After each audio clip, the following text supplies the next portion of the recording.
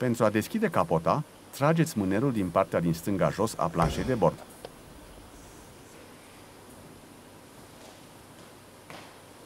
După deschiderea capotei, cu motorul oprit și rece, puteți accesa compartimentul motor pentru a completa cu lichid de răcire, cu lichid de spălare a parbrizului, cu ulei pentru motor și lichid de frână.